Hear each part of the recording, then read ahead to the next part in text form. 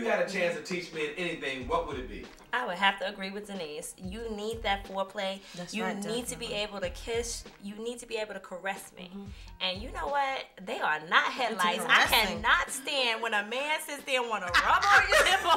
I am Talk to done. me, educate him now, I educate am him. done. Ah, It's not. They not headlights. They you don't push the button. Don't boo boo. Don't do What she say, what it. doing? What, what are they doing wrong to your? What are they doing to your nipples?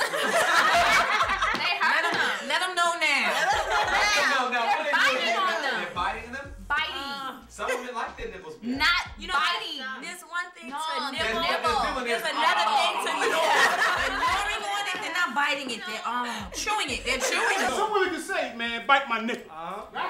Bite, bite my ass. That don't mean bite. Slap, slap That don't mean Slap bite. me. That don't mean bite at There's some women like that. Slap me.